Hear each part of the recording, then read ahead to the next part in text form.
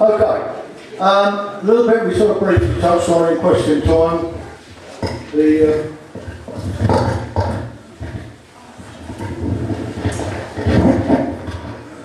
Let's go make a mess of your uh, video, Karl.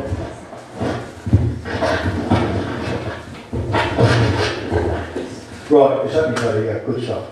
Uh, a little bit about the evolution of bees. I'll put a question mark behind there because um, I'm not sure that we uh, are 100% certain about the evolution of bees. So there's probably some conjecture, and we've got to remember that um, because we, we, we're dealing with um, uh, animal tissue, the, uh, the fossil records are actually quite, quite sparse. Um, but it seems that bees spread from Africa in some way. How they got there, we're not quite sure. Whether they they started there or they moved from the uh, Near East, which now seems to be the, um, as I understand it, the, um, uh, the, the main suggestion.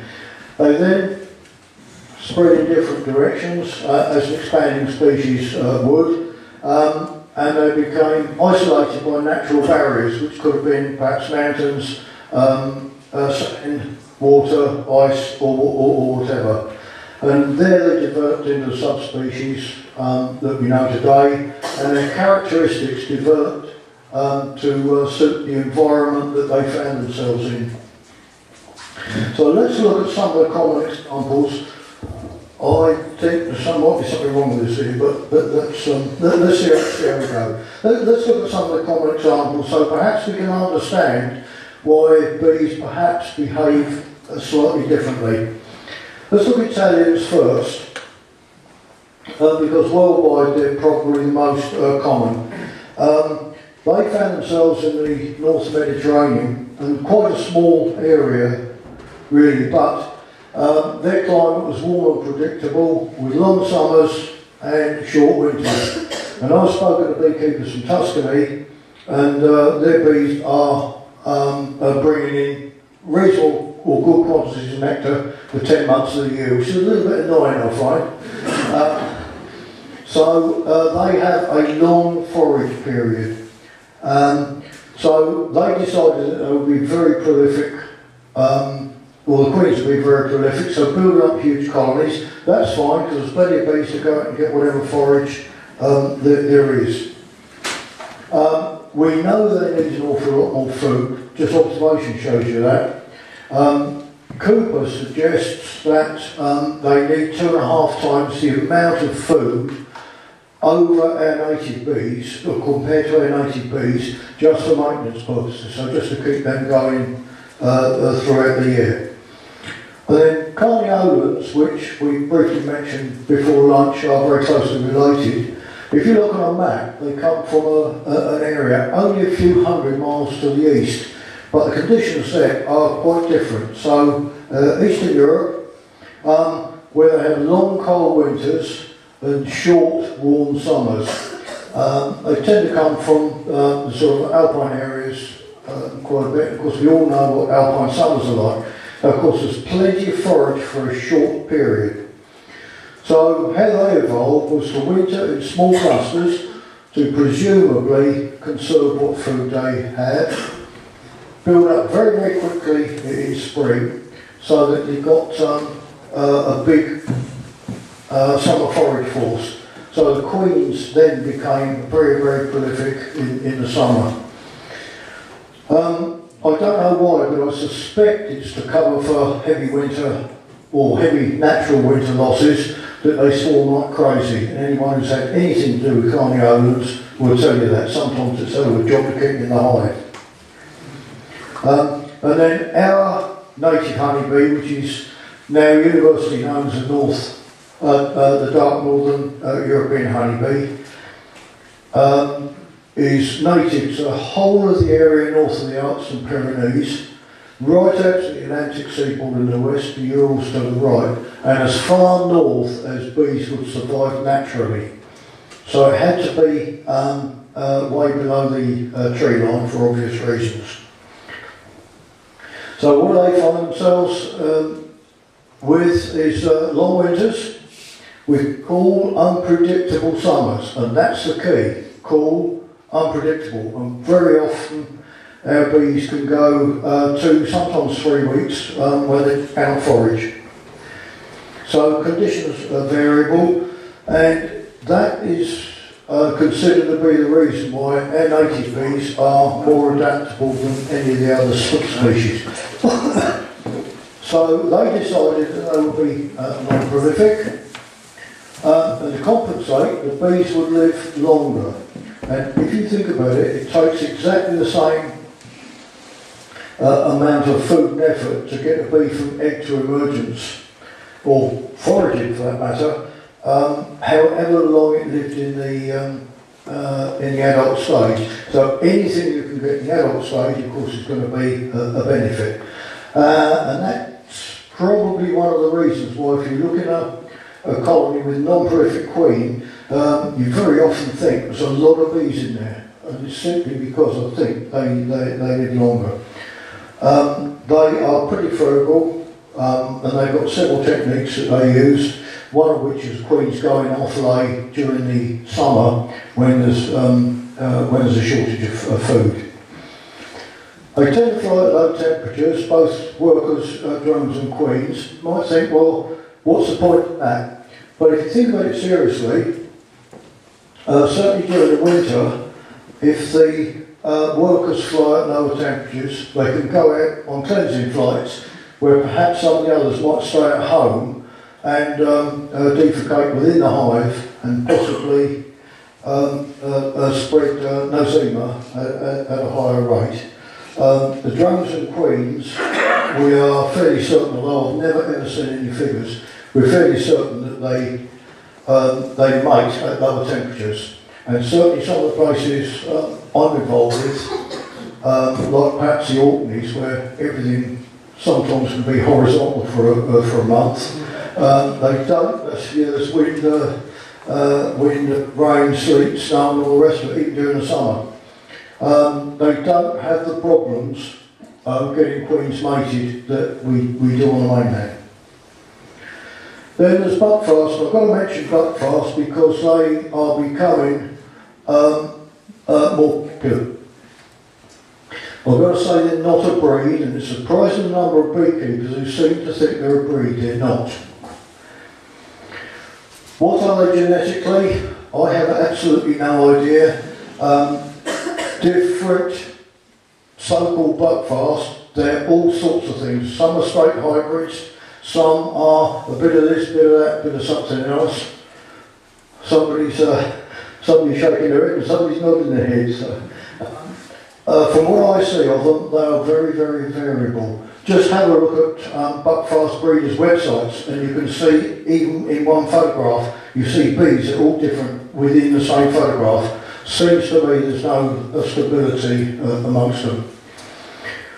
What I do know is that wherever I go, they seem to get the blame for the next generation being uh, bad-tempered. And uh, that seems to be quite a universal thing.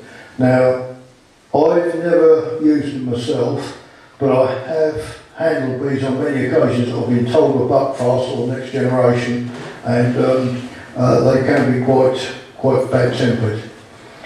Now, the key is, of course, um, uh, to keep them uh, the same. You've got to keep buying uh, the queens, and that, of course, is why Brother Adam kept an abbey going for so long. Um, uh, and that, of course, is unsustainable. Yes, there are people on peninsulas and places like that which are keeping whatever they've got um, fairly pure, but that's, that's, that's about it. Now, there may well be people who disagree with that, and let's have a discussion. So, our native bee, it's evolved to suit, suit our climate. Um, I think they're easy to manage. I've handled them um, uh, on many occasions, and the, the real pure ones really are a, a joy to handle. But there again, so are pure Carniolans um, and pure um, uh, Italians. They're nice and cheap to run, so you haven't got to keep um, uh, buying lorry loads of sugar. So, although we may not have them, uh, we can select for their characteristics, and that's what I've done in um, uh, Sussex. I guess some of you folk further north may well have some that are uh, fairly pure. I really don't know too much about that. What I do know is there was a COLOSS uh, study, um, and the report was it's in 2014. Um, it was a study that was done between 2009 and 2012. Now, COLOSS is uh, an organisation of international uh, bee researchers, and what they did was um, they compared uh, different bees in different uh, places. There were 21 locations throughout Europe where they uh, done these um, experiments, where in each case they took the local strain, whatever that was, and two foreign origins.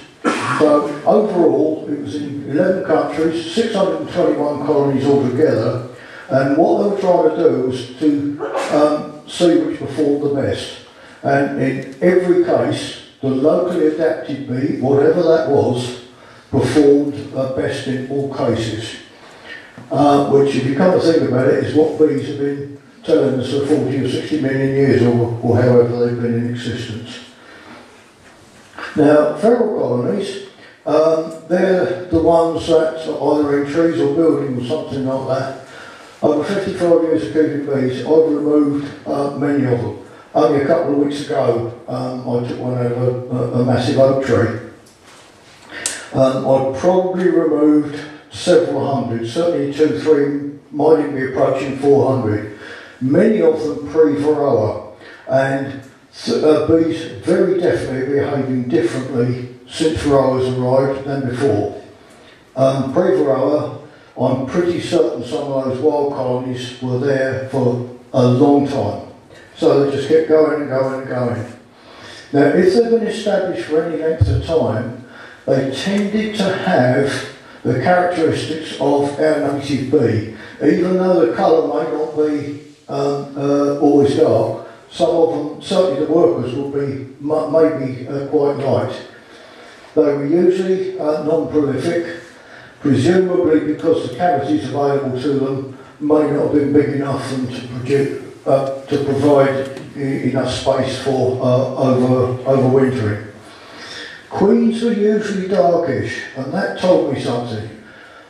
Um, presumably because yellow ones, in my experience, are more prolific. And I, I doubt if you get the bright yellow queens in this area, certainly in other parts of the country, uh, you do. They tend to be of New Zealand or, or Australian um, I- I- Italians.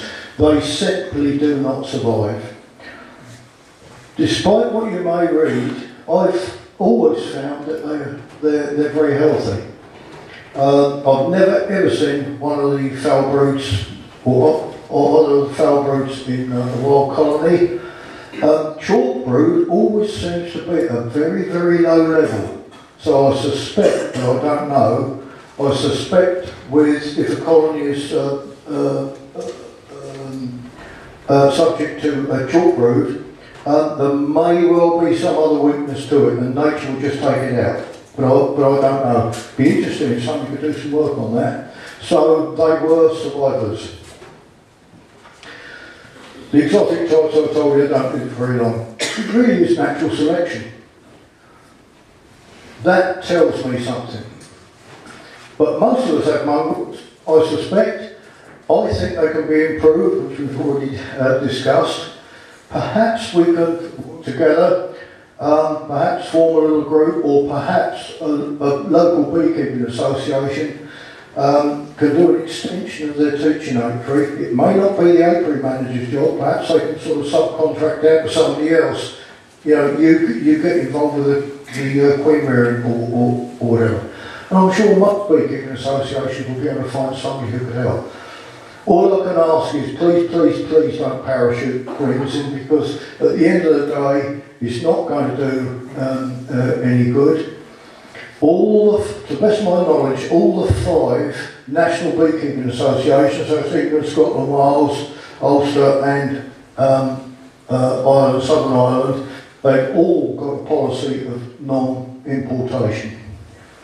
Well, but all I'm suggesting is use what suits your area, whatever that is, and please raise your own queens. Nice and easy, we'll show you how to do it. So, how do I select breeding and uh, coal, well, it's a bit, um, uh, it's a bit simple, not scientific at all, and some of the geneticists amongst us will probably have a bit of a laugh about this, but it works for me. Um, you folk can do the same. So all I do is I take my colonies, how many, I've got, and split them into two roughly equal groups. It's only mental thing, it's not that lot there and that lot there. I call them Group A, they're the ones that are the, the, the better ones, that have got the characteristics that, um, that I want, or largely characteristics I want. And I'm raising queens from within that group and, and, and using them. And I'm not replacing queens unless there's something uh, wrong with the queen. Perhaps she's, uh, she's starting to fail or something like that. And then we've got group B, so this is the 50% that um, uh, are less desirable. And I'm constantly re- requeening them, perhaps um, once a year, sometimes might be twice a year, depends what, um, what the situation is. So it doesn't matter how many colonies you've got, whether it's just two, perhaps like that, or perhaps you've got eight, or perhaps um, a bigger group, bigger individual uh, beekeeper, or um, a group, or perhaps a local beekeeping association. Doesn't really matter. And then when you get the, when I get the opportunity, um, just raise queens from um, uh, one colony, not the same one all the time. I very rarely get two batches from the same queen. And then I requeen some of those in the B group, not all of them, some of them, and then when the queens get mated, if I find one in B group that's better than one in A group, they get swapped over. And my simple mind um, uh, works out that um, that way you can improve your bees quite um, uh, quite significantly. Although um, I'm sure, as I said, the geneticists will um, uh, uh, pick holes in that. Then try again. So it's as simple as that. Um, and I'm sure everyone, um, you know, or ordinary beekeeper can do it. Now, to produce queens, we clearly need queen cells, because they're not uh, useful bits of kit. So queen cells then. Personally, I don't think they're understood anywhere near enough. So what do you folks do when you see queen cells? I think I heard it. That's what usually happens, isn't it? Um, but why? Why do people panic? Because I think they could be great opportunities. They could be, they can provide you either with genetic material or the situation to put genetic material in. So don't start panicking. Think about it right from the start. Think as positive um, beekeeping. So natural queen cells then, we've got um, we got them we got them built, or the bees build them under three impulses. Swarm cells, which is uh, colony reproduction. Emergency cells where the queen goes absent, which I have to say in a natural state I've never seen take a natural colony out, I've never ever seen evidence of emergency cells. And supersedure cells, which is um, where you get queen replacement. So effectively the same thing, but for three very different reasons. Sadly frowned upon by some, uh, and I've absolutely no idea because sometimes you get um, a, speaker who will tell you not to use uh, swarm cells or emergency cells or whatever, and then tell you how to do an artificial swarm. And I really don't understand it. But that sort of thing happens. But bees have been using them for millions of years. Millions of years. And all of a sudden we come in and say, oh no, no, that's not good. But I wouldn't mind betting that if we analysed all your colonies, probably 75%-ish of queens come from natural cells, queen cells, in one way or another. Think about it. So, let's find out a bit about them. Like, you reckon you can all recognise emergency supersedure and swarm cells if you saw them in a colony?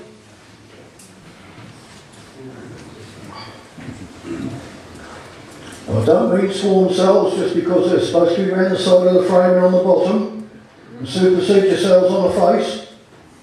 I don't mean that. I mean actually looking at the, the number of cells, where they are, um, and um, the state of the colony. Now, can you do it? Have a look on Cushman's website, that's the easiest, easiest way. There, there, there, are, there, there are ways to tell. You need to understand that bees will swarm on all kinds of queen cells, even though they may not be built by the bees for swarming purposes, if the colony's in the right condition and the weather is fine, even if they're um, emergency cells or supersedure cells, the chances are, like 80% in my experience, will, will, will go out.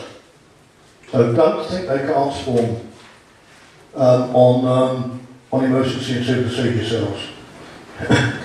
I mentioned two, leaving two queen cells this morning. This is something that's come into beekeeping probably in the last 15 or perhaps 20 years. And the thinking is that if you leave two queen cells, if something happens to one, you've always got the other one as an, as an insurance. Uh, have you all heard that? Do you believe it? Why not? Because you tried it, your swarm go out. Um, right, what usually happens is, if the colony's in the right condition and the weather's fine, the first one to emerge will go out with a swarm. If you don't believe me, leave two queen cells and see what happens. Now, worse still, how long does it take a colony of bees to detect that a queen cell is dead? Five, six, seven days. You can tell that quite easily because uh, they then it then takes them a long time to start chewing it down and getting rid of the um, uh, getting rid of the contents. On several occasions, I've had uh, uh, two queen cells uh, left. The bees have swarmed with, with the first one to emerge and, the, and left the dead one behind. Right? And if you don't believe me, you keep two queen cells, you make sure you go on your local association swarm list. So when somebody within a mile of you says they've got bees in their chimney, you go and sort it out, because the chances are they come from yours. Okay? So, don't, don't fall by that one, because you, you, you, you'll trip over whatever happens. We're also told that they should be left unsealed. Why left unsealed? Because sealed ones could be dead. But hang on a minute. What about the unsealed ones in two or three days' time? They could also be dug, couldn't they? But there is a reason. Um, sometimes when they emerge, down comes the lid, out comes the queen, what happens? Worker inside, clean out the residual royal jelly, and have got a bit of mischief, haven't they? So what do they do? Close up the lid, that's it, we've all been fooled. Um, so that's one good reason perhaps for leaving them unsealed, but all you need to do is just touch the end of the cell with a, your, hive tool or something like that, and um, uh, if it's emerged, it, the, uh, the, the tip will come off. If not, it'll stay there firm. So that's one thing you can do. The other thing is, of course, with a, a, um, a natural queen cells, you don't always know the age of them in a couple of days or so. Um, so perhaps if you leave them, you could end up with them emerging before um, uh, before you expect them to. So what it does do is give you extra time. Now we all know that um, uh, queen cells are sealed uh, for seven days. So if you leave an unsealed one and you're a weekend beekeeper, um, if you leave it on, on let's say the Saturday unsealed, you know that when you go next Saturday, the Queen shouldn't have emerged. Shouldn't have emerged. So it does give you time. So there is good reason for leaving it unsealed, but not the reasons that we usually give. You need to know one or two things, and one of the most useful things is the more queen cells that are built at the point of swarming, usually the more swarming the colony is. So if you get two colonies side by side, one's put up, let's say, eight or ten queen cells at the point of swarming. So when the first one is about to be sealed, and the other one's put up 40, the one that's put up 40 is going to be more swarmy than the, um, uh, than the other one. So if, uh, if they were both put up at the same time, don't think, oh, all those queen cells, we've got because what we'll probably find is that you've got quite a swarmy colony. Use the other one. Um, I used to reckon 18 was my dividing line. More than that I wouldn't use. I'm having a problem with this over here. Um, uh, more than that I wouldn't use. Um, less uh, I would. Um, now it's down about 10 or 12 because I've improved the swarmability of my bees um, from what it used to be. Well, 16 is okay now, man. So, emergency cells, these are the ones that are built on uh, worker larvae. So usually when the queen goes uh, missing, all the bees think that they are queenless. Personally, I think they're badly misunderstood. Now, we know they prefer to build them on new comb or the edge of comb, so perhaps if you've got a uh, a colony. Some, some of the um, uh, is fairly old, others is new, other is new. It's the new comb they're more than likely to build the emergency cells on, or perhaps the end of the. So what happens when a queen is removed? Yeah, I think so. Yeah.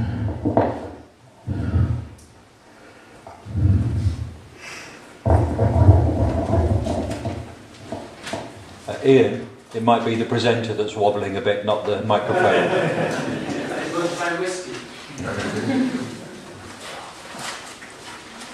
I was still speaking in terms of my wife, I'll tell you do.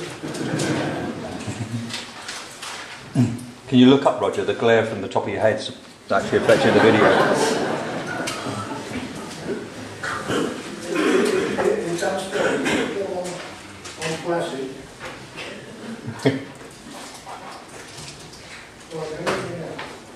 It's upstairs. On plastic. Why not?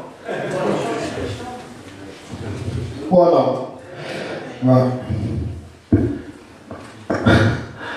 You folk are paying for this. Right, is that any better? Okay, good stuff, right. So what happens when a queen is removed from a, a colony? I know what the books say, um, and until a few years ago, I believed, it. I'm still having problems with it. You, you, you, you know, I, I can't hear myself. Okay, all right. You, you, you're right, Karl. So what happens then when a, when a queen moves Are you sure? Um, now, these are my observations, and to the best of my knowledge, they're not shared by books, but I'd like some other people to, to, um, uh, to try it out, because this is what uh, the bees tend to realise colonies within it's about an hour. No. On.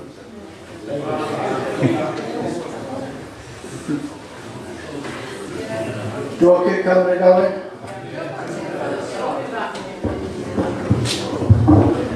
I'll tell you what, if I do every other word with this one,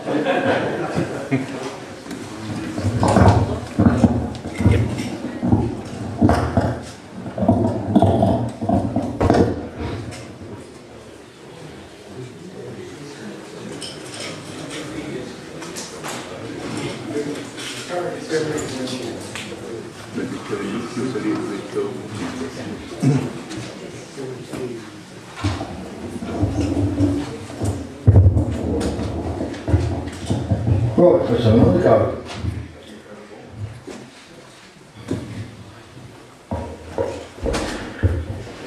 Right, um, the bees um, tend to realise within about an hour that they're, they're quite, do vary quite a bit um, from to colony, not always the same. Some are almost undetectable as queenless. Other bees I've seen have been absolutely frantic in a couple of hours, and I've seen uh, colonies, uh, okay, single brood chamber colonies with no um, uh, no supers on. I've actually seen bees running around on the roof, presumably looking for, for, for their queen. I guess some of you older beekeepers have as well. It doesn't happen very often, but um, they, they do seem to do it occasionally. Now, when do they start emergency cells? How many hours later? Uh, I've done a little bit of work on this, and it does vary. But interestingly, about um, five years ago, I suppose, at the BBKA Spring Convention, uh, I was just looking on the BBKA stand of some of the old past papers, exam papers, and this to be a question. How long does it um, take a college to start building emergency cells? Well, I've done a bit of work on it, and there were two people on the BBKA stand, and um, I, I, just asked them, uh, and they were both on the exam board. Uh, one of them didn't even say uh, good morning, good afternoon, or whatever it was, it just disappeared into the distance. And the other one said, well, I don't know, I didn't set the question. Um, which probably tells you a little bit about the exam board perhaps. But um, I try to explain what I've had, what I've seen, and you can check this out yourself. It's quite a difficult experiment to do, but some colonies, um, within about 12 hours, you can see that they're, they're starting to build emergency cells. Others I've found, two days later, like 48 hours, and they haven't even started.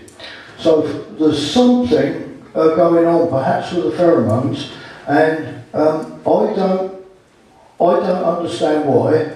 Uh, all I know is there's certainly a day and a half uh, difference, um, and I don't know the reason. And it would be interesting to know what the answer was going to be in the module, because I think it's something that big council should know. But um, I really don't know how, how long it takes them. Right, now, what I found was that the bees stagger them over three to four days. And we're told that they, they build them all together, and the reason that some get sealed before others is because the bees build on um, uh, older larva. Yeah. Check them out. Check them out. Have a look in there. See when you just get the little puddle of royal jelly, have a look at the size of the um, larva, and I bet you'll find that the, the larvae are actually small, not large as we're told. Anyway, yeah, they usually use uh, larva. Right.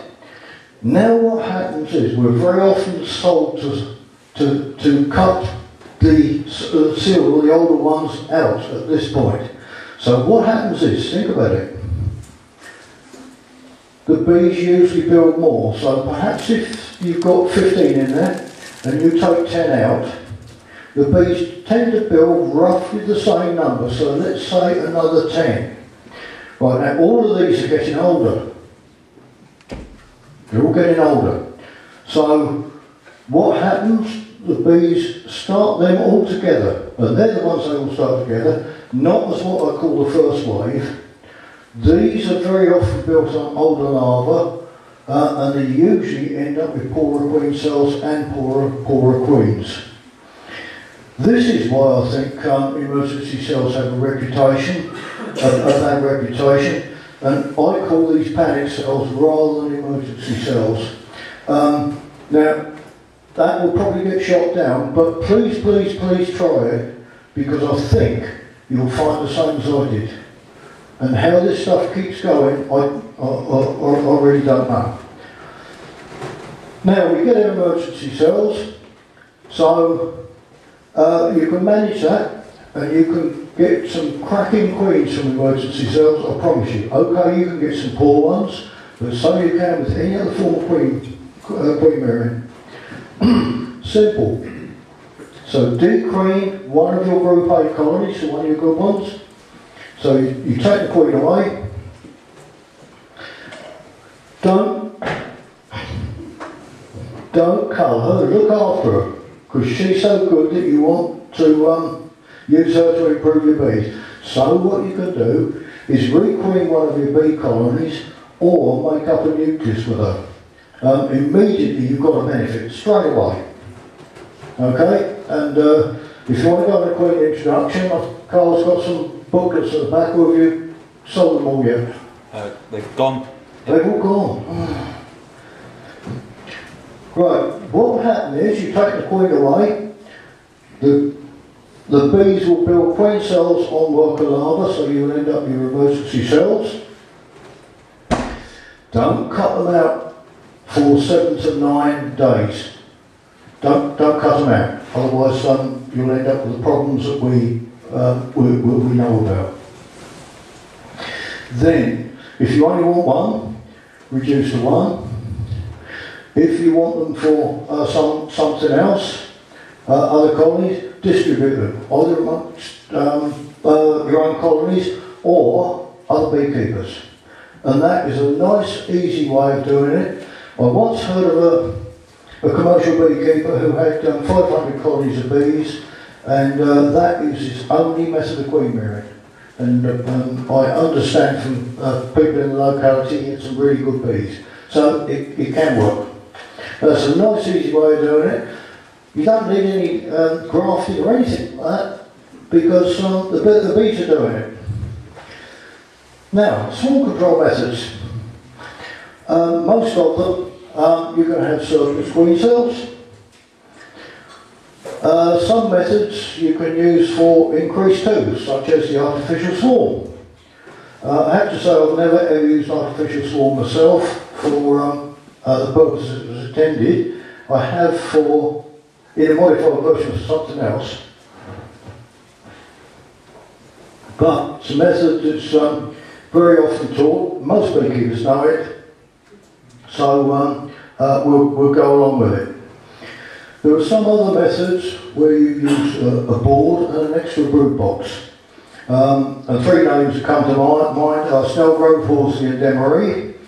There are variations on those. Um, they don't work for everybody, but if you're understanding what's happening inside the colony, um, then they should work um, reasonably efficiently. So you end up with a board um, there. So you've got the bottom brood chamber, which uh, is usually a new comb. Supers above, then the board, and then the old brood chamber above. I can't go through it um, uh, through today, but the basic principles of all of them are exactly the same. There's lots of benefits um, with um, uh, with that too. Um, you end up with bees and queens usually in the top box. Um, very suitable for small apiaries too. Not great if you've got out apiary or, or, big numbers, but with those you end up with um, uh, with uh, with new new comb as well. Here's a very successful apiary I, I came across. I think there were 14 colonies uh, there altogether. You can see struck away as an experienced beekeeper that apart from the one on the, left, which might have been a nuc, but I don't know, they all look very, very similar. and if you go into a uh, an apiary and you see hives all over the place, um, the beekeeping is perhaps not going to be as efficient as if they're all very, very uh, uh similar. This beekeeper uh, used the Snelgrove uh, system, and uh, there's one of the entrances open there, if you look carefully at all the others, you'll see that's what he did all summer, whether the bees um, were showing signs of swarming or not. That's what he did. And um, he did really well at it. He got 14 colonies uh, of bees, all in Langstroth Jumbo High, so bigger than, uh, usually probably bigger than most of you folk.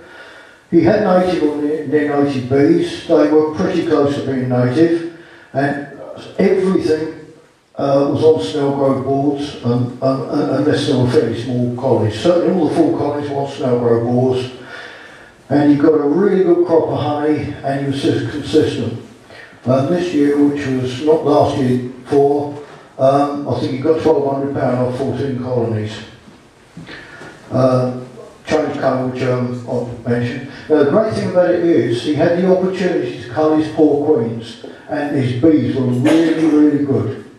So simple, simple things like that can be done by, um, uh, by all beekeepers. Now for the more advanced, those who want perhaps more queens, um, either on your own or individuals working uh, together, so as an, as an organised uh, group, perhaps a beekeeping association. In that case, you may need what I call artificial queen rearing. So what is artificial queen rearing? I've never seen a definition, so I made one up. To encourage bees to convert a worker larva into a queen by manipulating the larva, all the cell the egg was laid in, then presenting to a colony that's in a condition to build it into a queen cell.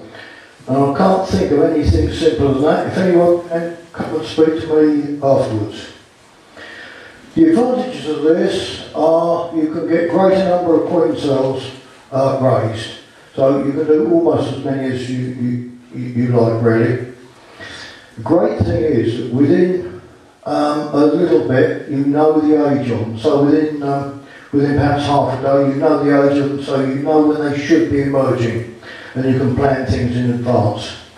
Which you can't always do with, um, with swarm cells because swarm cells can be, um, the queen can lay staggered over perhaps six, sometimes seven days. So now all of a sudden the timing can suit you. So instead of the bees deciding to um, queen cells two days before you go on two weeks holiday in June, um, you can uh, you can start two days after you come back. So you get more control. Here are some artificial methods. Um, uh, and I'll just put these up almost at random. The cell punch cutting comb, which I'm going to go through the miller, and larval transfer, which you folk will probably know as grafting, and the cell uh, plug, which will be known generically as um, Jenter or cup kit. I'm just briefly going to do these. With the uh, cell punch, you just get a tube, you take a frame with the other end of the age you want. You literally punch out the um, uh, the cell um, and then uh, mount it. And in fact, somebody here has uh, made some, and I'm sure they'll be happy to uh, show you at break time. So you end up with um, you can put them in a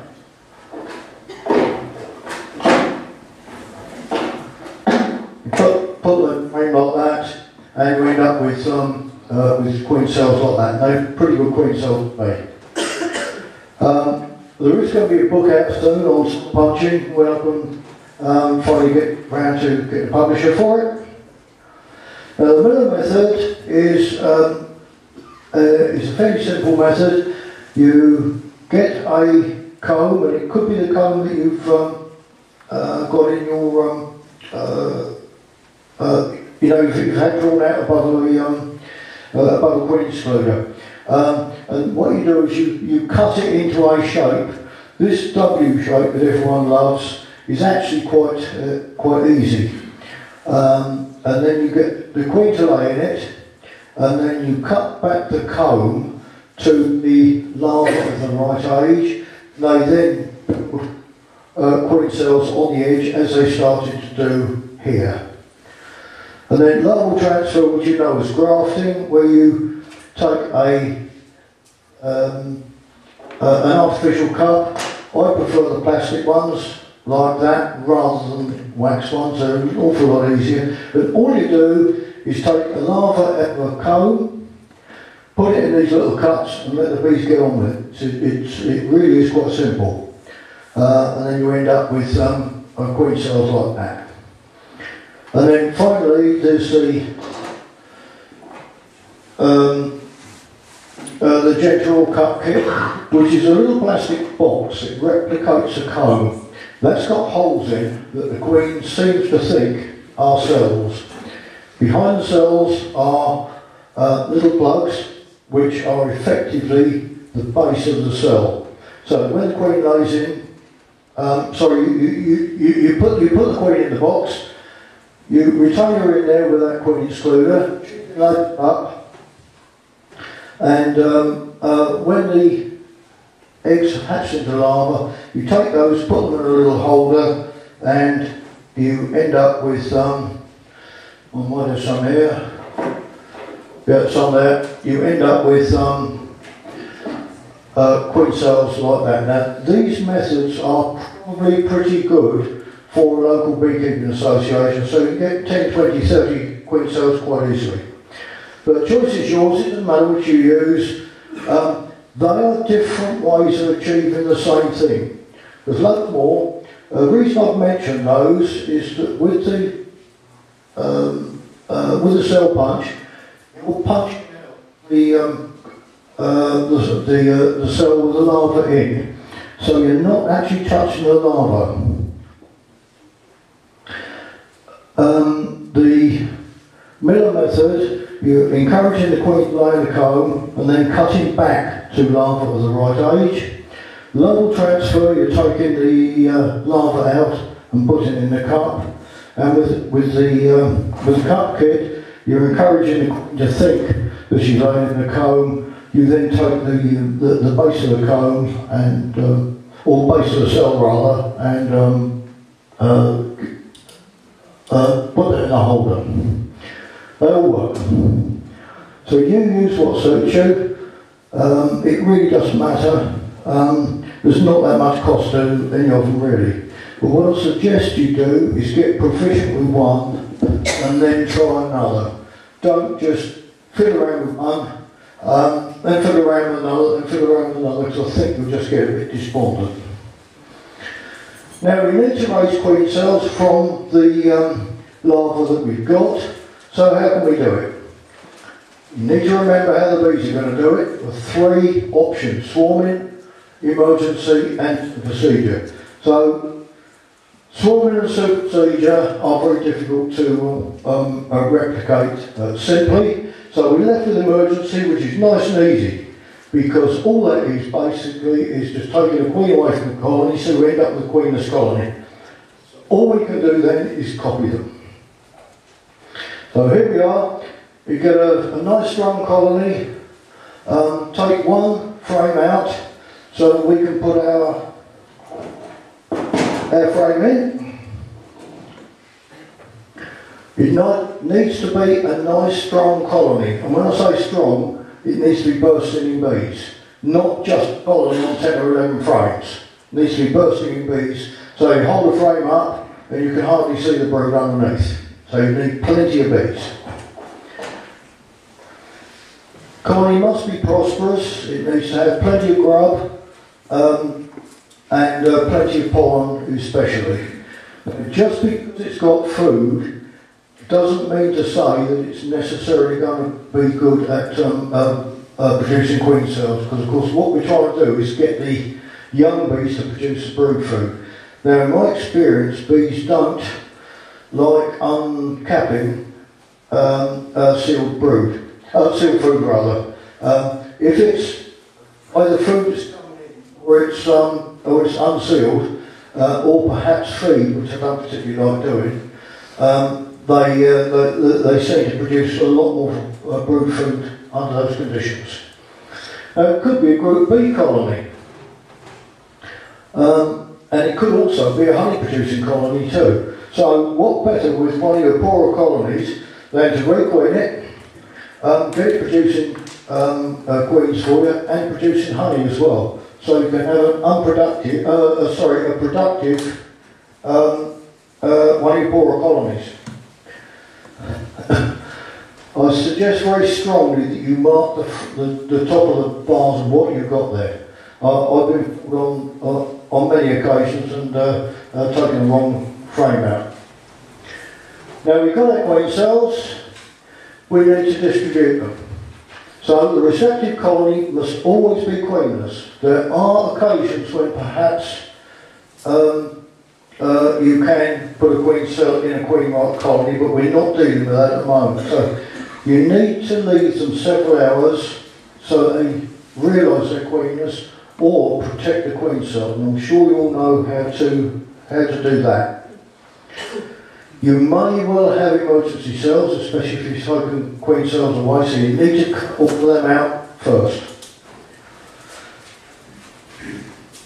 And then, um, if you've got get the frame, let's gap or a hole, that's the easy way to do it. If not, just make one. So just push your thumb into the uh, face of the comb. You've then got somewhere that you can put your queen cell in and um, hold it by the um, the uh, piece of cone at the back, not the queen cell itself, if you can help it. Um, and um, uh, that, that I find nice and easy. So you need to get them mated in some sort of colony. I think a nucleus is as good as any for the ordinary beekeeper. Um, and I'll show you how to make nucleus up in uh, a minute. There's several, several ways of doing it. Those makeshift stands, um, they're nice and easy, they're cheap. Um, you can use milk crates and all the rest of it, but remember milk crates belong to somebody. So unless you find them in a skip, um, then um, uh, you know, they, they, they, they do belong to the dairy or, or, or, whatever. So please don't go pigeon milk crates just for the sake of it. This is the queen rearing section at the bottom end of the Wisborough Green um, uh, teaching apiary. You can see the um, the main colonies in the back.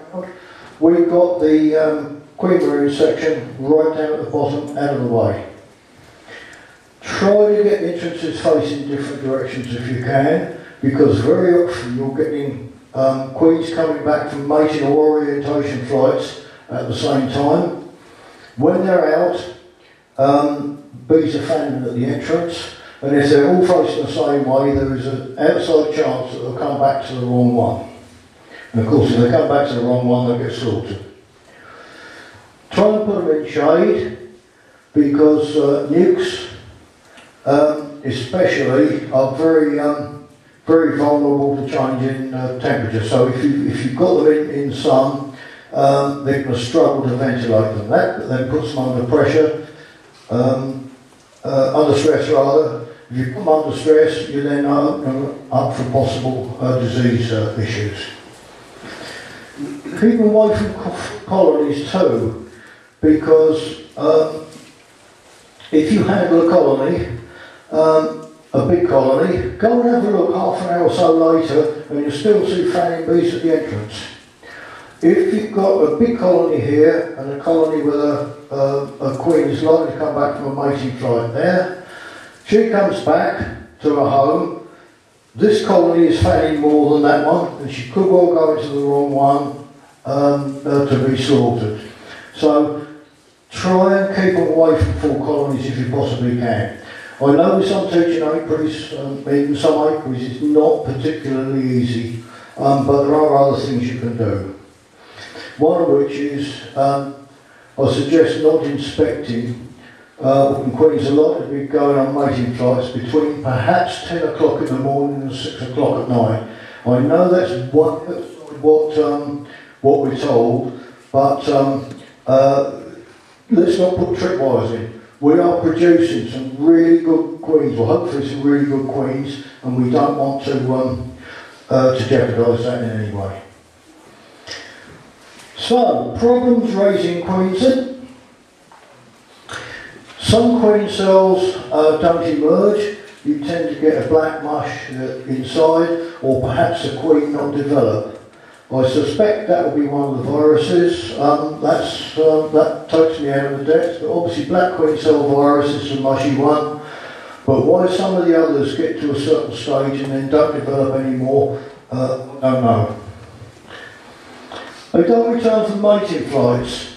Um, it's surprising the number that emerge with deformed wings.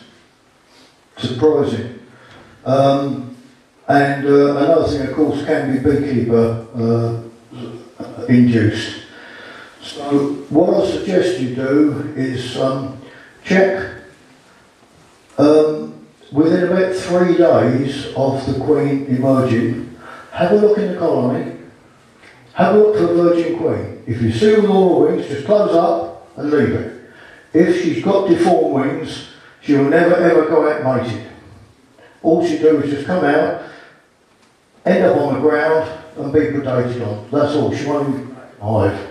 So um, make sure that you um, uh, you check if you possibly can. Don't forget, it takes about five days for the section to mature to go out on their orientation uh, flights. So if you leave for that length of time, of course, you could be looking when she's going out on a flight. Um, some don't get uh, mated at all.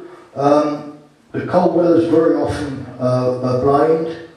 Um, it might be that, or perhaps um, there's something wrong uh, with the queen. And even last year in good weather, sometimes it took queens uh, four, five, six weeks even to get mated. Now I know we're usually told that three weeks and they, more than three weeks and they, and they won't. Um, I can tell you they, they, they, they do. So whatever it is, don't get put off. Just because there are problems, I can assure you that other people are having problems as well. Um, let's just try and do the best with what we've got.